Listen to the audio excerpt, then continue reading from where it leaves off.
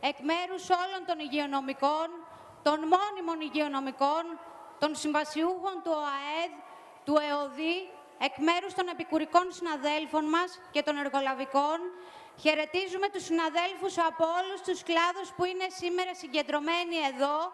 και ενώνουμε τη φωνή μας για τη διεκδίκηση των δίκαιων αιτημάτων σας, που είναι και δικά μας αιτήματα. Όπως αντίστοιχα και τα αιτήματα των υγειονομικών, αφορούν όλους τους εργαζόμενους, την νεολαία, τους συνταξιούχους, τις γυναίκες, τις λαϊκές οικογένειες.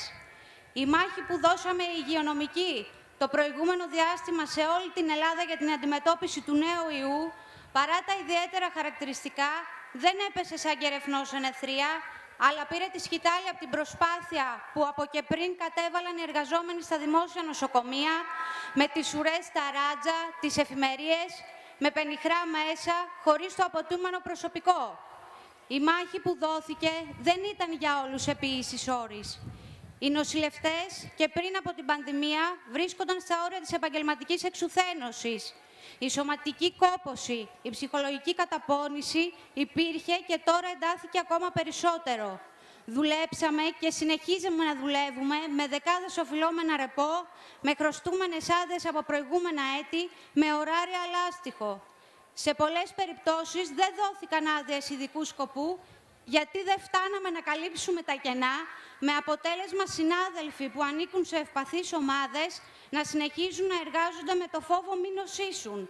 Την ίδια ώρα που στο ΕΣΥ υπάρχουν 22.000 οργανικές θέσεις και νέες για το νοσηλευτικό προσωπικό, οι συμβασιούχοι στέλνονταν άναρχα από τμήμα σε τμήμα και από νοσοκομείο σε νοσοκομείο, ενώ οι επιχειρηματίες και οι κλινικάρχες της ιδιωτικής υγείας έβαλαν στην τσέπη πάνω από 30 εκατομμύρια ευρώ. Αντίστοιχα, στις μονάδες εντατικής θεραπείας, ενώ οι ανάγκες πριν ακόμα την έναρξη της πανδημίας ήταν 3.500 κρεβάτια, η καραντίνα ξεκίνησε με 550 κλίνες μεθ πανελλαδικά σε πλήρη λειτουργία, η αναλογία γιατρών και νοσηλευτών ανασθενή ήταν πολύ κάτω από τα επιστημονικά πρότυπα όρια, στα όρια ασφαλείας τα λέγαμε και συνεχίζει φυσικά να είναι, σε πολλές περιπτώσεις τα τεχνολογικά μέσα που χρησιμοποιούνται είναι απαρχαιωμένα. Χαρακτηριστικά, συνάδελφοι, να αναφέρουμε ότι πριν λίγες μέρες σε ΜΕΘ στην Αττική έσβησε αναπνευστήρας που ήταν συνδεδεμένος πάνω σε ασθενή, σε λειτουργία. Μιλάμε δηλαδή για τεράστιο φορτίο στις πλάτες των εργαζόμενων, ψυχολογικό και σωματικό, για τραγικές ελλείψεις που κοστίζουν κυριολεκτικά ζωές. Μέσα στις συνθήκες της πανδημίας, παράλληλα με το καθήκον μας απέναντι στην υγεία του λαού, φωνάξαμε δυνατά για να αναδείξουμε τη δραματική κατάσταση που επικρατεί στους χώρους των δημόσιων νοσοκομείων ως αποτέλεσμα της υποχρηματοδότησης, της υποστελέχωσης του δημόσιου συστήματος υγείας και της πολιτικής εμπορευματοποίησής του που ακολουθούν διαχρονικά οι διάφορες κυβερνήσεις υλοποιώντας τις κατευθύνσεις της Ευρωπαϊκής Ένωσης. Όλο αυτό το διάστημα ακούσαμε χειροκροτήματα και συγχαρητήρια. Το πραγματικό ευχαριστώ όμως της κυβέρνησης, όπως προκύπτει, είναι η συνέχιση της ομοιρίας των συμβασιούχων, παρά το γεγονός ότι χωρίς τη δική μας εργασία δεν μπορεί να λειτουργήσει ούτε το παλιό, ούτε και το νέο εσύ.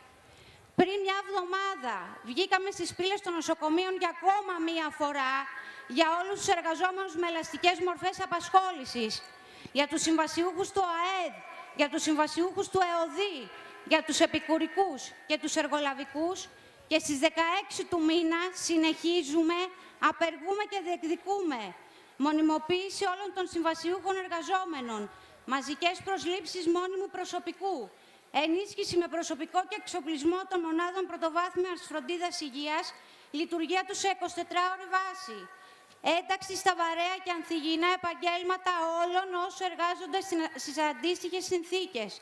ουσιαστικές αυξήσεις σε μισούς και συντάξεις, επαναφορά 13ου και 14ου μισθού,